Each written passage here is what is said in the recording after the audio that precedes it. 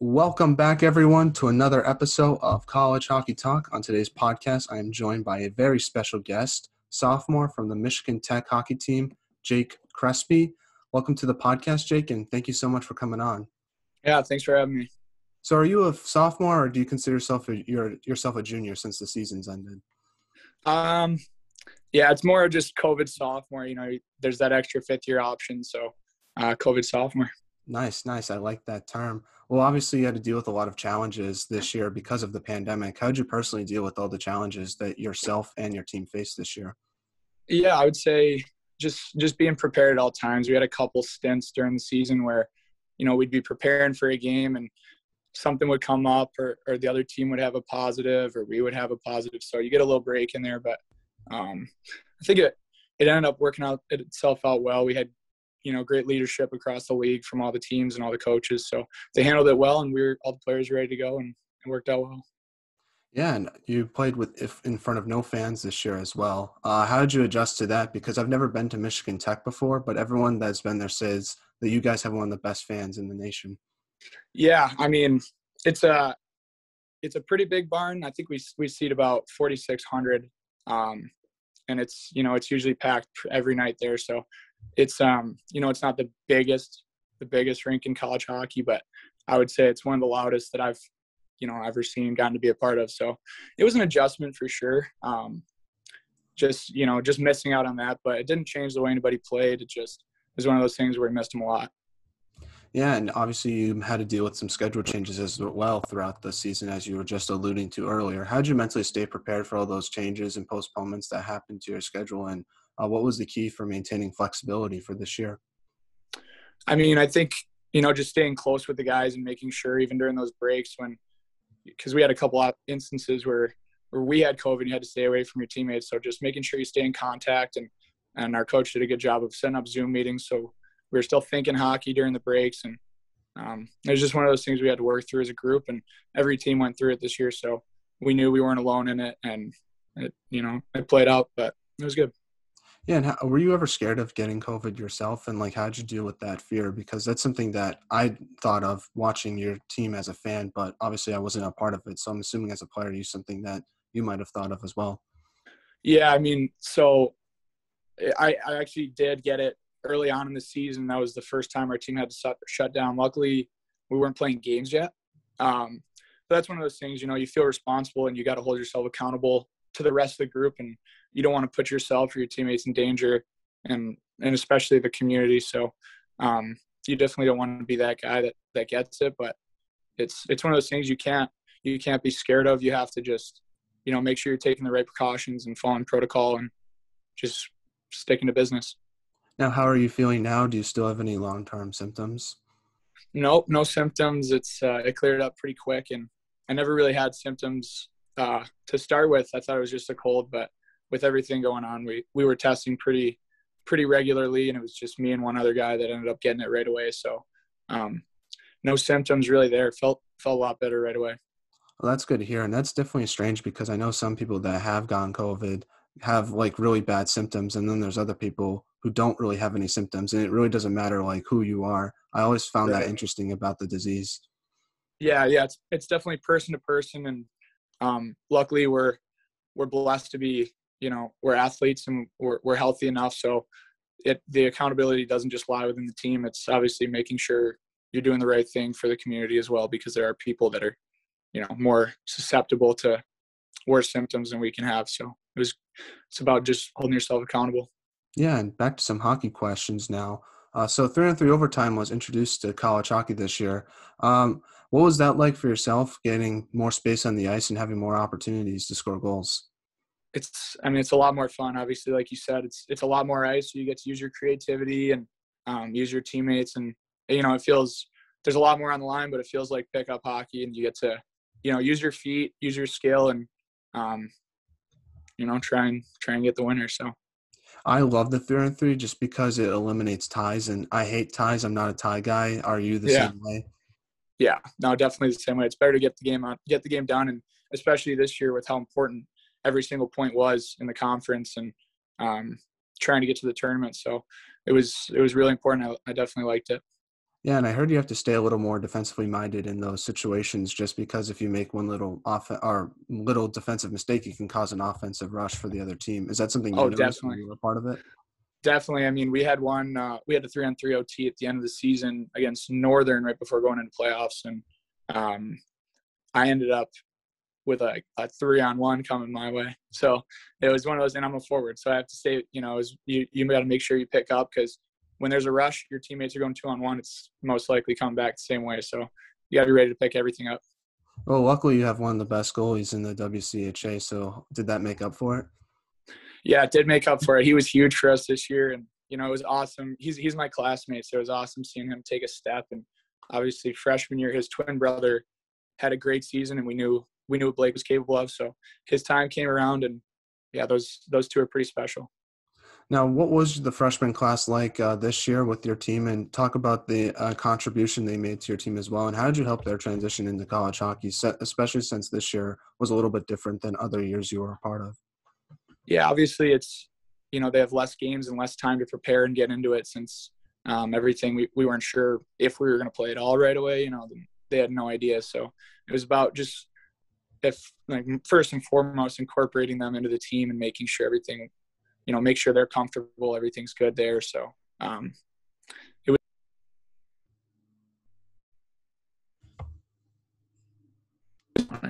sorry about that. Good yeah i'm good i don't know what okay. happened someone's going out with my yeah someone's going on with my phone my bad um just incorporating them to the team first and then they they handled the on ice stuff really well i mean they're hockey players and they knew what they came in here to do and they did a great job obviously uh arvid Caderoth was uh, rookie of the WCHA this year. He came in and adjusted well to smaller ice and playing tighter systems. So he adjusted well, and I mean all the other guys followed suit too. Obviously Carson Bansel was was a you know maybe not point production he wanted, but big role guy for us and brought a lot of energy.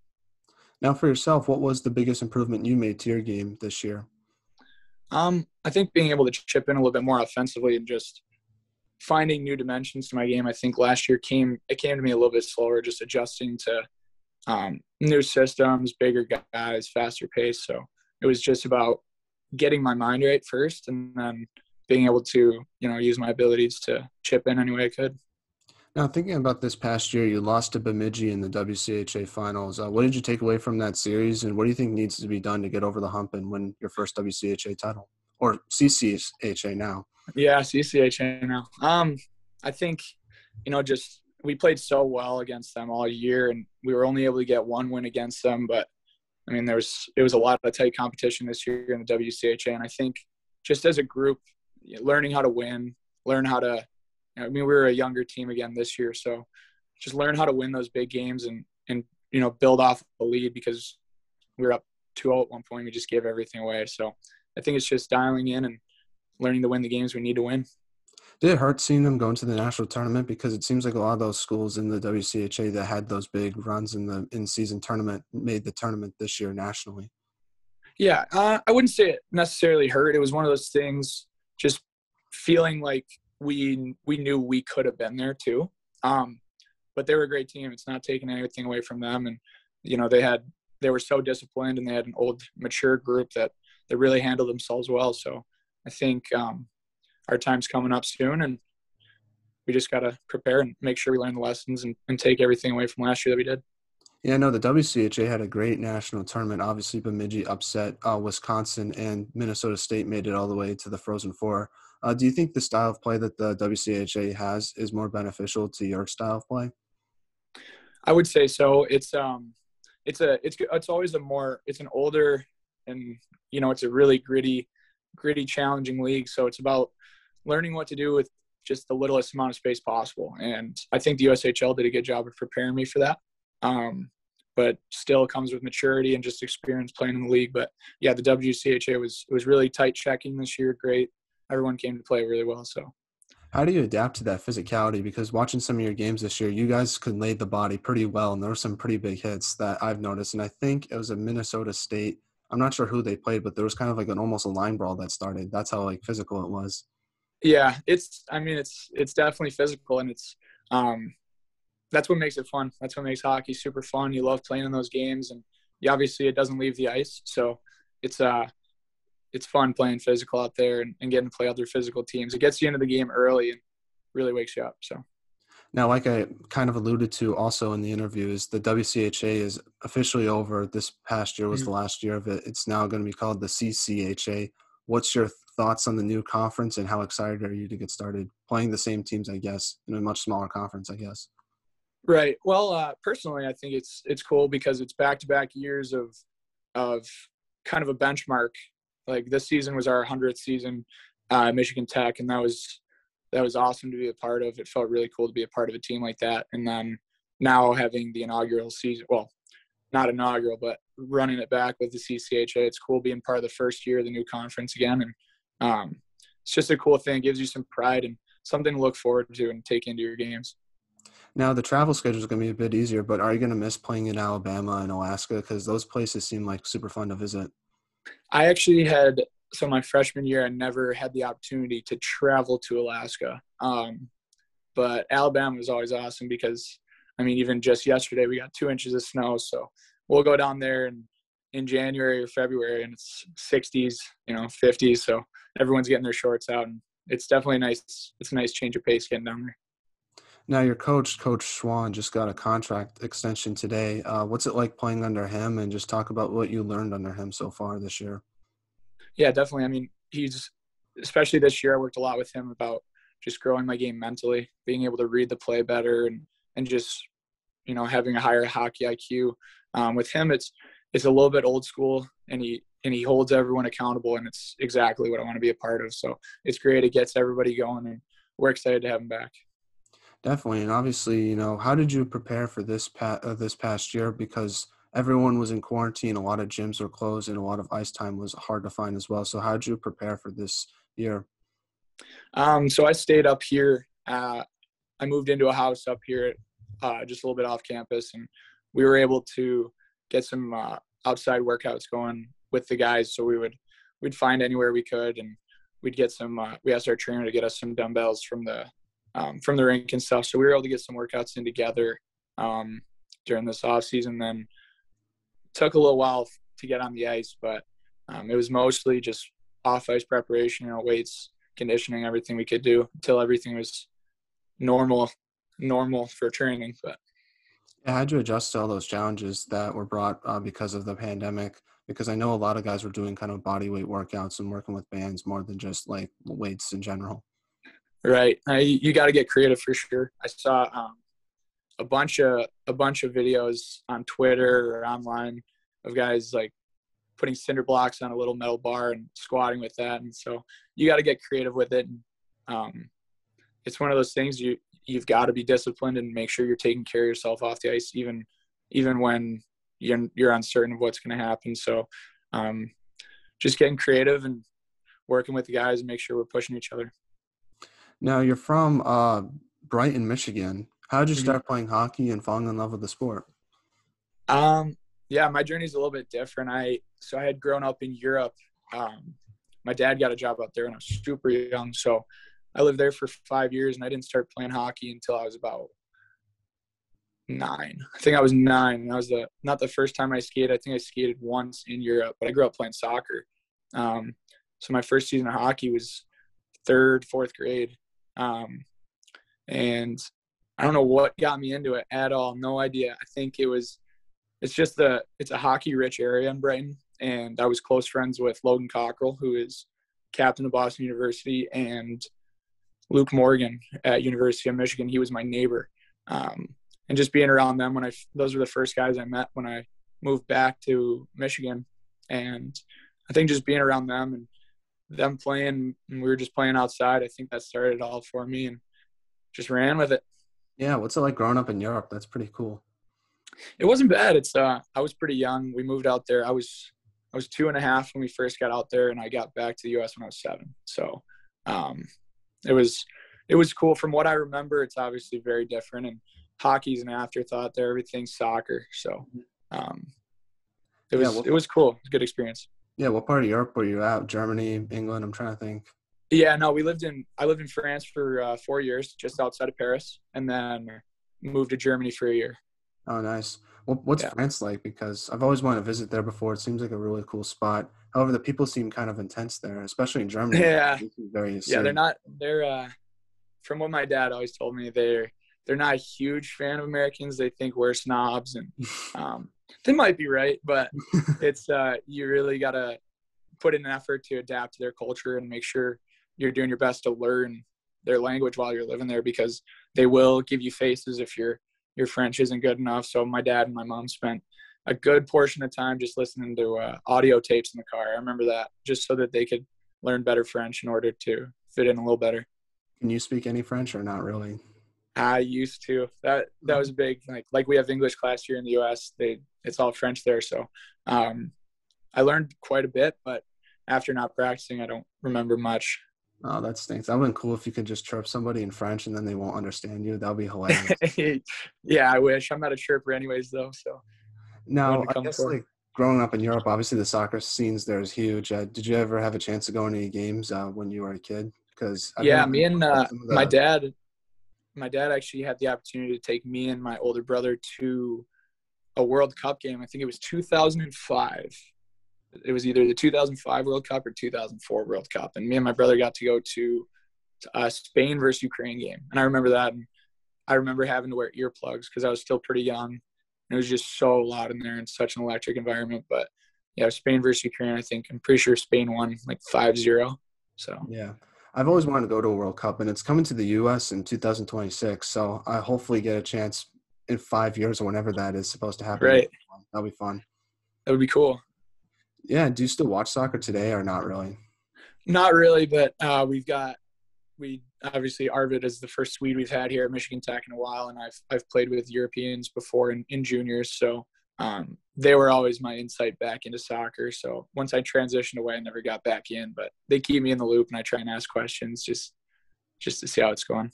What's their thoughts on this new Super League that's supposed to happen? That everyone's talking about. I haven't gotten to talk to him about it yet, but I just saw something on Twitter before I got on here about uh, a bunch of fans are are uh, rioting or something about the new league. So I'm sure they're feeling just as down about it. Definitely. I, I don't know much about soccer, but it doesn't look like good news. So I'll, I'll stick with Yeah. their word on it because they actually watched the game. Yeah, exactly. Now, before Michigan Tech, uh, you played for your high school in Brighton. Uh, what was your high school hockey experience like there? Uh, it was awesome. It's um, you know, Michigan high school isn't isn't known to pump a lot of people out, but it's it's been growing every single year, and um, I was fortunate enough to play at uh, what I would consider the top public school in Michigan, um, and we we we played good competition every year. But Brighton's one of those. Was one of those schools that it was just it produces. I mean, there's a lot of talent being produced there, and even kids that from Brighton that didn't end up playing for the high school, like uh, like Colin Adams and Keegan Hoddeshell. But then you see guys like Colin Bilek, who has an insane year this year and second team All American. So he was he played at our high school. Um, it was just an awesome experience being a part of, you know, something like that where there is a little bit of culture in it. And um, I was fortunate to have a coach in Kurt Kivisto who won a national championship with Michigan State. Um, and just, you know, he was a good mentor to me, just figuring out how to play the game the right way because I initially went to high school to take a step back um, from hockey a little bit, but just absolutely fell in love with it again. And um, it was a really awesome experience. We got we had some really special teams there, and um, I made some some really good buddies from that. Yeah, no, and I guess like playing in public high school, do you think you faced any adversity getting noticed by junior teams? 100. percent That was always that was a big concern. Um, my senior year when I was really starting to to apply into it again and, and fully invest myself in this idea of uh, a future in hockey. So it was a it was a stressful a stressful time, but um, you know everything obviously it, it works itself out. And like I said, having Kurt as a mentor, he was he was a he was a kid who played house hockey up until high school, and then ends up playing in the Null three in the Null the old Null, and then um, getting a scholarship to Michigan State. So a guy like that in your corner that can keep you at bay and make sure you don't get too ahead of yourself is was really valuable. Now, what was your favorite memory you've ever had at Brighton High School? Hockey. Winning our yeah, we won a we got to win a state championship my senior year, 2017. That was awesome, and we had such a special team there. Was, uh, like we had uh, Logan Neaton in that, so he's at UMass Lowell. He just got he was drafted to Winnipeg. Uh, Adam Conquest at Bowling Green, Sam Brennan at Air Force, Tim Merkala at Northern. Like we just we had some really really good players, and um, and even the players that didn't move on, like they were so beneficial to that team, and um, just making it such an awesome experience. Yeah, and I guess you also won Mr. Hockey in Michigan your senior year as well. Mm-hmm. What was it like to win that award? It was an honor. I mean, it's really cool, and, and there's some there's been some great winners in the past. Obviously, Abdelkader, um, Andy Greene, who's had such a great career with New Jersey, um, and there's there's countless other great players that won it. So it was super cool for me to to have that for a personal award, and um, it was the cherry on top for that season. Do you, do they give you like a trophy, and where do you keep it? Yep, I uh, I gave that one to my parents. They deserve that the most, so I gave that to them, and still at their house. Nice, that's awesome. And then you went on to play in the USHL. How'd you get the opportunity to play in that league? Um, I'm not really sure how that panned out. I um, I was it was the beginning of my senior year, um, and Billy Muckalt invited me out to skate with them. They were in Ann Arbor playing the U.S. team, and they were practicing at Yost, so they invited me out to come practice with them. And um, he must have liked me enough, and he told me at the end of practice they're going to look at drafting me.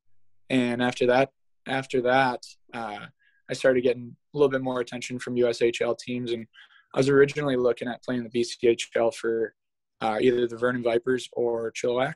Um, but I I was fortunate enough to be drafted uh, in the second round to Tri City, so um, made that decision to move out there. And what was the transition like going from high school to the USHL?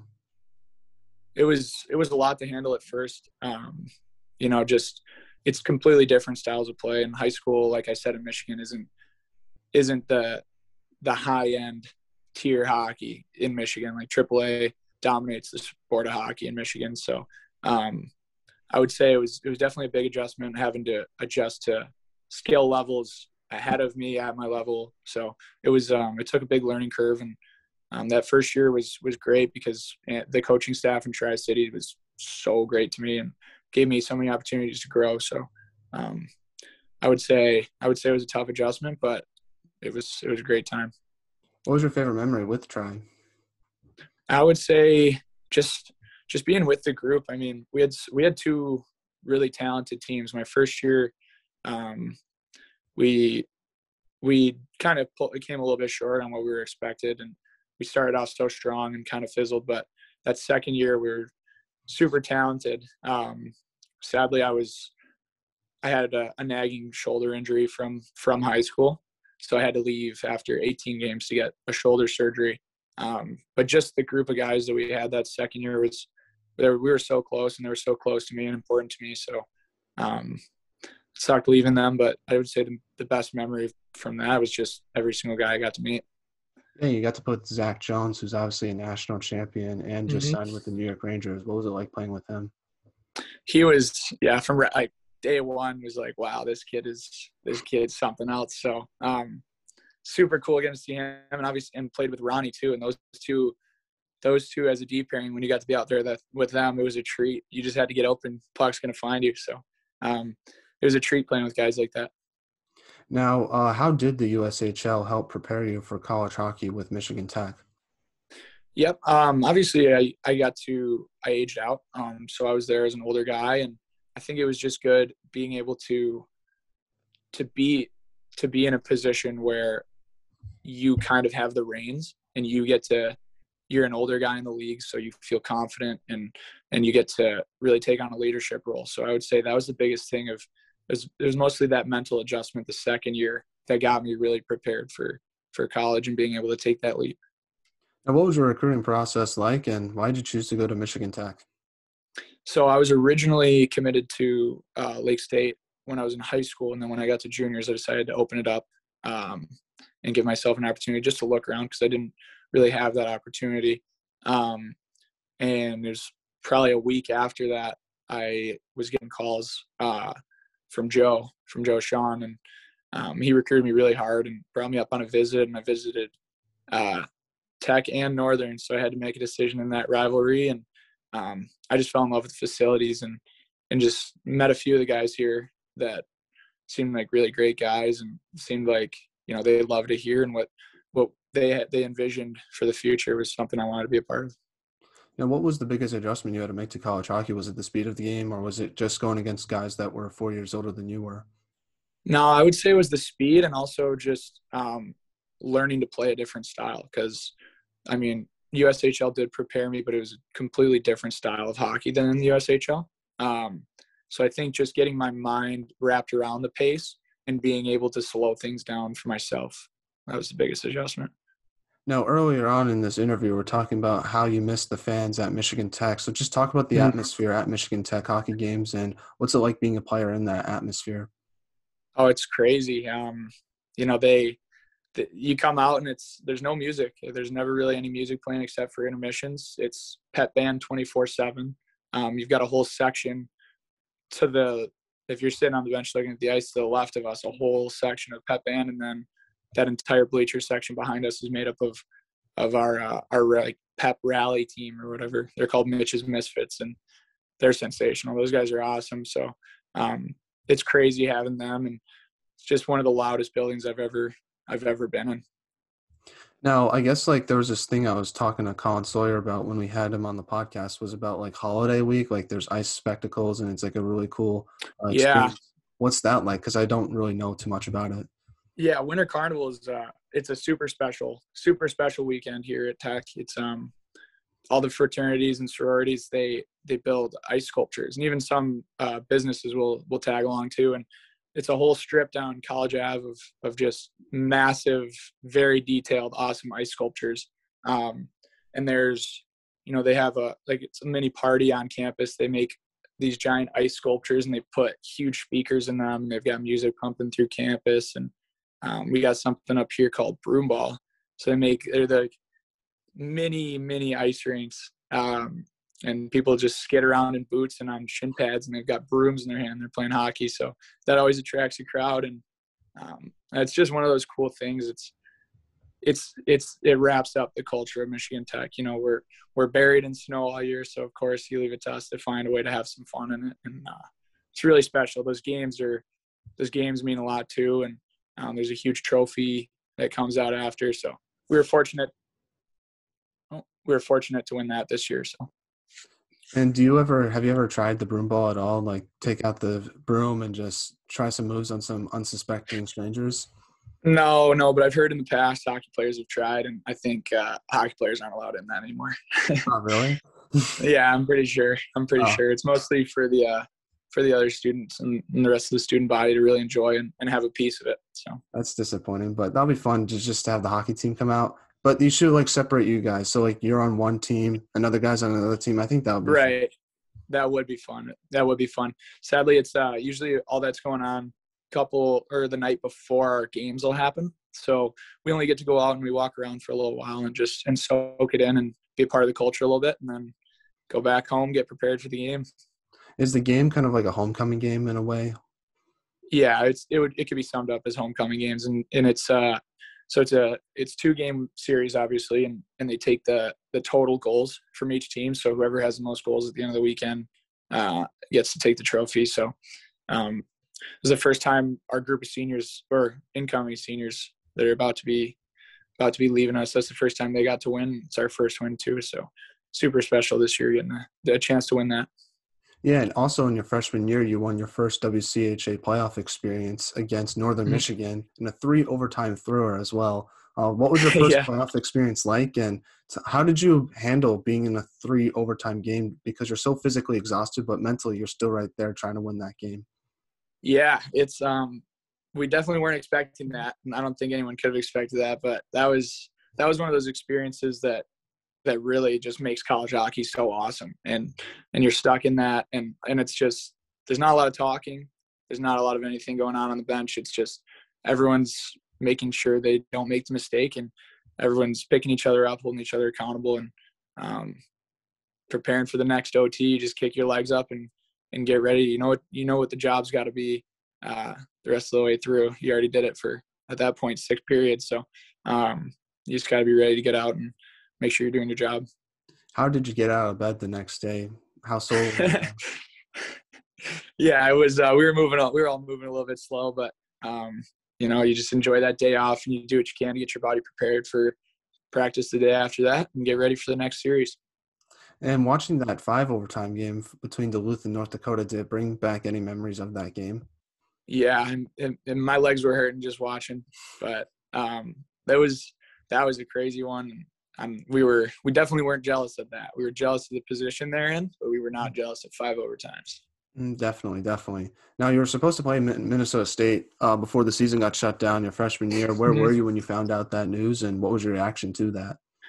We were uh, we were on the bus. We were so we had left the day before that everything got shut down. We we made a five hour drive to Minnesota Duluth, and we were staying the night in Duluth.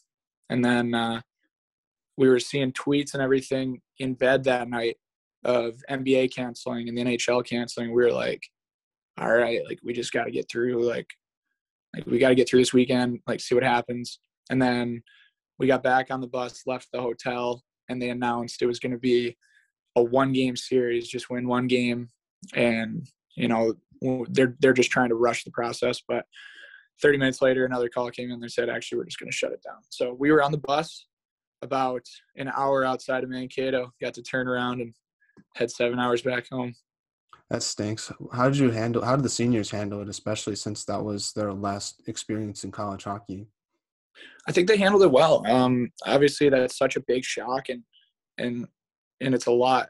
You know, it rushes your process of having to figure out you know, what's next. So um, we were feeling for them, and but but they handled it well, and we had a really good senior class last year of guys that you know really they already had some some plans figured out and what to do, and um, they handled it well. So. Now, being being in your third year in college hockey next year, what type of leadership do you hope to bring to the team, especially since a lot of young guys are going to be looking up to you more often? Right. I think it's just taking the next step in my in my personal development um, and making sure that I'm doing the right things, so that way I can help the younger guys do the right things. Because it's hard to hold someone accountable if you're not doing the right things. So I think just using this those those two years of experience to guide me next year and um, you know keep getting sharper keep learning and and keep developing so that i can help out in any way i can. Now what are your off-season plans i guess? Like are you going to take a little bit of a break uh, from hockey just to relax your mind or anything you have fun planned i guess? Yeah no i uh, i mostly i try to stay off the ice and and golf was going to be opening up here pretty soon but like i said we got some more snow yesterday so uh, we got to wait for that again but really just grind in the weight room and stay off the ice as much as possible and just enjoy time with the guys that's awesome. Well, let's start off talking about the non-hockey segment of the podcast. We're asking some non-hockey yeah. questions. So on the website of Michigan Tech, it says you are a big golf fan. So which pro golfer would you want to go golfing with? Hmm, that's a good one. I think uh, probably. I mean, everyone. I think everyone would love the chance to golf with DJ because everything he's doing right now is uh, it's super special, and getting lessons from him would be great. Um, Rory, you know, all the big guys. Brooks Koepka seems like an awesome guy to go golf with. So. Definitely. DJ would be cool too because he might bring out Wayne Gretzky, so you can get hockey stories and golf stories as well. And maybe he'll bring out Wayne Gretzky's daughter, and that would be fun too. Definitely, definitely. I would say probably Tiger Woods, just because he's one of the best golfers of all time. So it'll be cool to get the chance to golf with him. Right. Oh yeah, that'd be great. I mean, just sharing that that knowledge he has, and I feel like he's so detailed in everything he does. So just being able to be around him and soaking in some of that that knowledge, you can even take it back to hockey. So Mm-hmm, definitely. I hopefully they make like a Michael Jordan style documentary on his golfing career because that would be super fun to yeah. watch. Yeah. Did you see uh, HBO did put out a, a little two part documentary on Tiger Woods? oh, I really cool. you should check that out. Yeah, it was really cool. Yeah, no, I definitely because like I remember the Michael Jordan documentary feels crazy. It's been a year since it was released. It feels like mm-hmm. it was mm-hmm. out like a couple months ago, but no, it's super cool to kind of get an inside look on how he like prepared for basketball games, and I think it'd be cool to see how Tiger Woods prepares for golf tournaments and stuff like that. Definitely. Yeah, no, that little two part documentary it takes it back to when he first picked up a club and um and every when everything went wrong and when everything was going right. So it's really cool seeing uh, you know, some introspection into the life of Tiger Woods. Yeah, I think it's crazy how he was like three years old and everyone knew he was going to be like a golf legend. It was just like, and having all that yeah. expectation on yourself when you're that young, I don't know how I could handle it. I don't know how anyone could handle it. He's handled it pretty well for the most part. Yeah, yeah, he did a great job. And obviously, just hopefully he can recover and, um, you know, get back to golfing soon. We all get to watch watch the legend.